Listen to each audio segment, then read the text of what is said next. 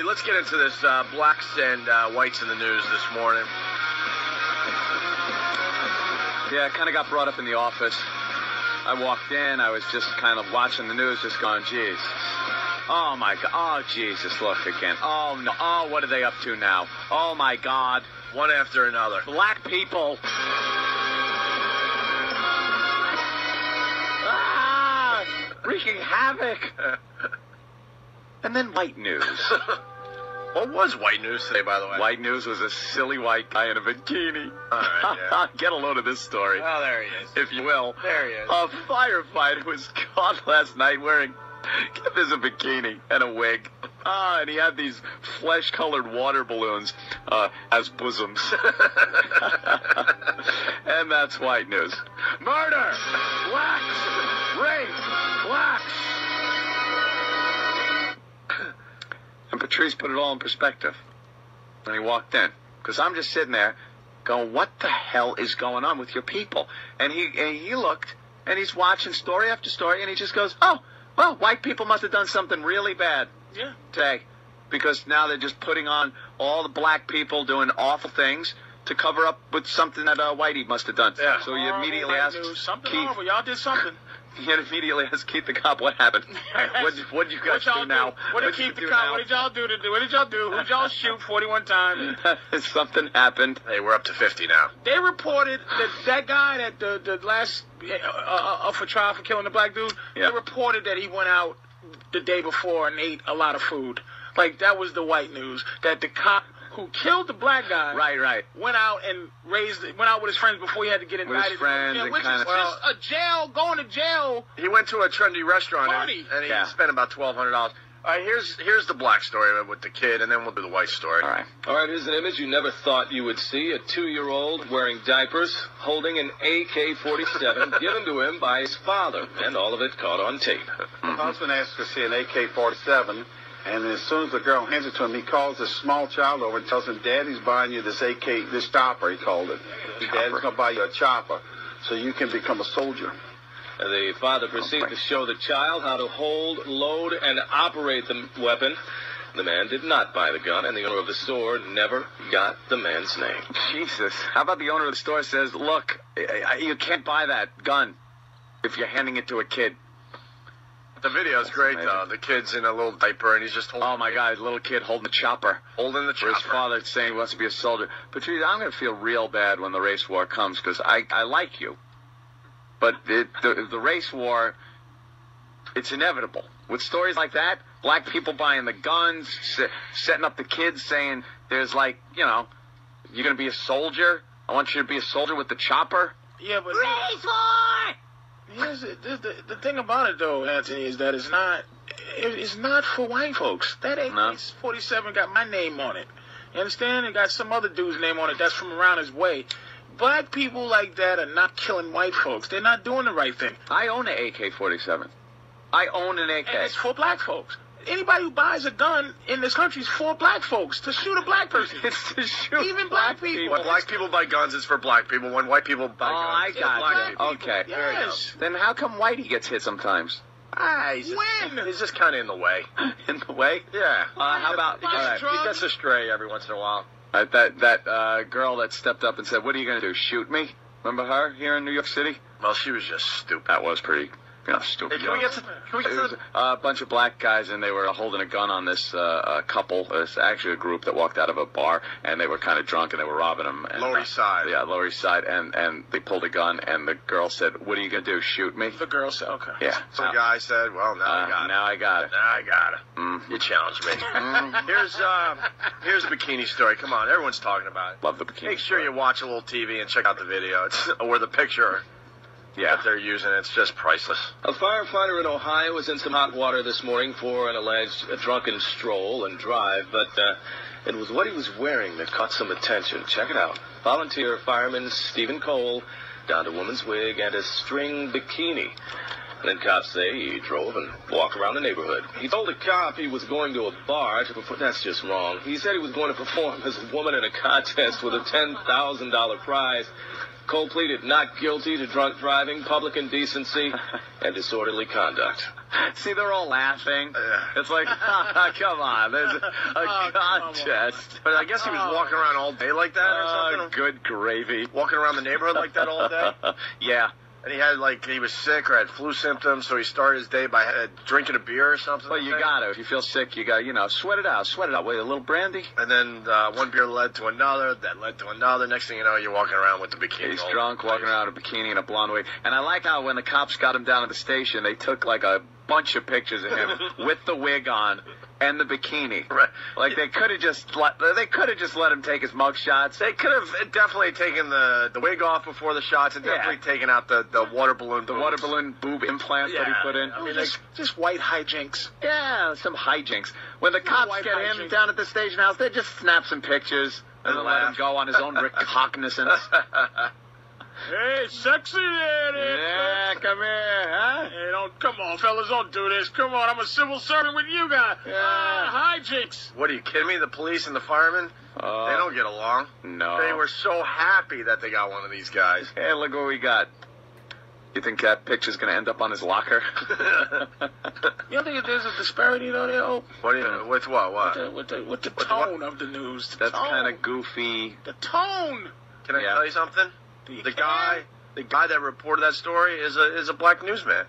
Yeah, but they they aren't real Yeah, black they- black people. They're the fake blacks. They've been No, they're not a fake, but it's just look, golden handcuffs. It's so hard to stay angry. golden Where, handcuffs. when you buy a house, it's hard. So they just say, read the news with a little more love. And then it's just Yeah, Leroy. F next is, and they go, look, color. The news is colorless, and they and they convince Leroy, the newsman, that the news has no color. And the next is a black child who, hey, he smokes weed. And the next news, you know, white people, white people tickle each other to death. That's how fun white people Well, are. Patrice, you got to think now. When when a, a couple of black guys are getting a little kid, three years old or whatever the hell he was, high, making him smoke weed, that's got to like, like white people just don't. How come? How come you Do that. How come? And when you when a black when a black person is doing something on the news, right? That weed thing. Mm-hmm. It's it's that well, whoever's doing it, that horrible Negro, right? And and represents all the rest of the horrible Negro. Right, When right. White people do stupid stuff. They blame society. They blame like Hmm. you know, white girl goes out and and shoots herself because she gains twenty pounds. That's is it society making it skinny Yeah. important. So now that this poor, sane white girl killed herself, it's like, why is it there's some other blame when it's white people, but black people, the weed thing. Where, give me the news where, where white people do stuff. You know what it is? You don't have to care about each other. That's what it is. Hmm. Fan can go out and, and do some stuff, but it doesn't represent white people. It just represents Stan. Right. True. You're right. Anytime somebody black does something, it represents every single black person. So don't you think it's the responsibility of black people to not screw up? No. Everyone's- Because why should we have to? Everybody screws up. got to work a little harder at first.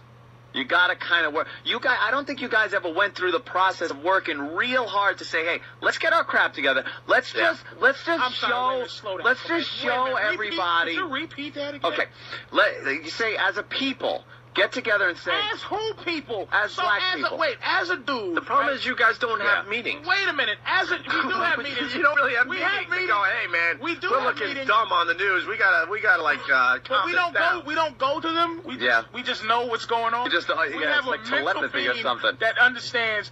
You're too, you're too busy looking good in public. Instead of getting real setting stuff done. trends. Yeah, I think you guys got to take a little time out though, and and suck it up and just go. Look, we're all going to be good for a little while, and then white people go like, "Wow, black people have been really good for a while." Yeah, There's right. one dude with his kid with an AK-47, right? Mhm. And everybody else is working. I'm, are you Like gun stores mind? are loaded with black Are people giving their kids of guns. your minds with as many things that make white people look ridiculous. Yeah. How come? Like we was talking about the serial killer. I should fear every white man walking up the street as a potential person that could eat me. Right, because of the serial killer Or thing. kill It's me. always profiled as a middle-aged white guy. Right, I understand. That's what you do. You know what it is, Why isn't that representative of what you guys do? percentages. Black people make up 10% of the population, so now there's a problem because it's it's not an even uh, divide. See, with the amount of uh, if 10% of the population, you we should never see even one person giving First their of all, kids a gun on the news. A black murderer usually kills about one dude.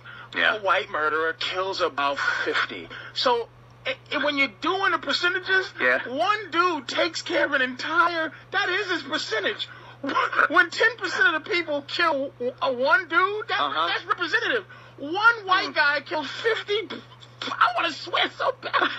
Yeah. One, when you, when you, and then you, and then the White people are just smarter. You're just I mean, so bored. You're the guy's exactly. the guy's smart enough to figure out how to kill 50 people without get getting away with caught. I get away with it, and then Black people, they boom, and you know, in the middle of the day it's, with it's an cameras emotional rolling. thing. Murder's Yeah. a All right, really let's- emotional thing. Let's move on out of the crap today.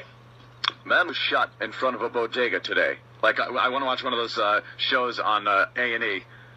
A and E. Five second investigations. it's nothing but black crime. Man was shot in a bodega. Police caught him with the See- gun in his hand, saying, "Yeah, I Hey, did it." When, hold on, hold on. No I. No, CS. when, when it comes when it comes to black crime, you, you don't have to wait for stuff to be invented to solve the crime. Yeah, 20 years later, they come up with a process where they could figure out Right, how right. to pull something off a Right. gun. So if we did that, would that make it better? Yeah, probably would. Would, would you feel much better? Would you Would you be less Dude. afraid of us? Let me tell you something. Black people, two black guys, got into a, a car, drove around, and sniped people, white people, Mm-hmm. And, and, and killed uh, quite a few people, uh, terrorized people. But Which, by the way, You're talking about the, the DC the sniper. DC sniper. and, and Which, people, which at the, at the they thought because the crime was so ingenious, It was they thought it White was a white guy. Oh, Let me tell you something. The white world applauded uh, those two. They wow, really damn, gave them credit. And let me tell you They something. got some cred in the white world. We don't walk around though fearing that black people are going to snipe us from vehicles. Because that was one of those. Now that was a case where that showed up. It was all over the news. We didn't all of a sudden go, "Oh my God, every black person's a sniper." It's this profile of crimes that are raging animal? indicative to black people and white people. See, serial killer, white people. If if if a hooker, let's say a hooker, and you got to be in the in the right place. If you're a hooker, you see creepy white guy, you're gonna be like, you're gonna be less apt to get in the car with him than you probably would with a black guy, because black guys aren't known for like killing hookers for the hell of it. Crazy, you know, middle-aged, crazy-eyed white guy. He's gonna chop you up into pieces. You're gonna be like sitting there while your leg is hacksawed off, and he's got a butcher's apron full of your blood on it. See, it, it's an odd thing. We've we've both taken these crimes and made them our own. And, uh, and, uh, And when we step over the boundaries, uh, we're not fearful that that's going to happen again because we know it's so rare. Patrice, will make you feel a little better. All the uh, kitty porn stories. Oh God, yeah, stop it. That's one of ours. all white guy. White That's guys' of ours. computers loaded with kitty porn. That's one of ours. loaded. I defy you to find one white guy's computer that isn't loaded with Not, kitty not many, not many black dudes going into that house to eat the cookies and drink the lemonade. Yeah. Not many black people. We oh know. my God! When we, you watch To the Catch goddamn To Catch a Predator, Not many black people. They're they're too smart for that crap. you never see Chris Hansen walk out and go, "Why don't you have a seat and drink some Kool Aid, have some Cheetos, and let's talk about what you were writing." It's never. It's always white guy. You know why? Immediately, black person's like, "Come your house. You better get out of here. Meet me downtown." exactly. Right. See? Hey, the guy got better instincts. I want you to listen to some because we were talking story of the month with Bikini Dude, and then Danny ran in and goes, uh, "I got even a better one for the month of April." We do like uh, story of the month. Listen to this, and then I might I might have a question at, at the end of it. Police in Washington state have arrested a 30-year-old woman accused of posing as a 17-year-old boy and molesting and beating a 14-year-old girl. Police say Lorelei Carpuz lived a double life as Mark Ga- garnering as Mark, I should say, garnering enough trust to move in with the girl and her parents. Then the girl says she started to suspect things were not as they seemed. We don't show her face to protect that young victim as she explains to us what happened.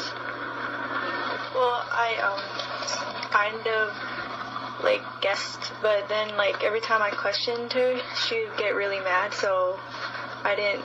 I just stopped caring because I did see some evidence that she was a she and Carpuz is facing multiple charges of child molestation and rape and is set to be arraigned today in a Washington court. So you got a 30 year old woman posed as a 14 year old boy so she could date 14 year old girl. Is that a black or white? 30 year. Old. Absolutely white. Oh, that has white written all over it. That is, there's no way Yep. that that is a black crime. Take a load of the picture, my It's a black lady? Let me see. It's a black one. No way. There you go. I'd have. I, oh, It messes up our whole. I went all in. Uh, you went and I lost. it messes up our whole show, my friends.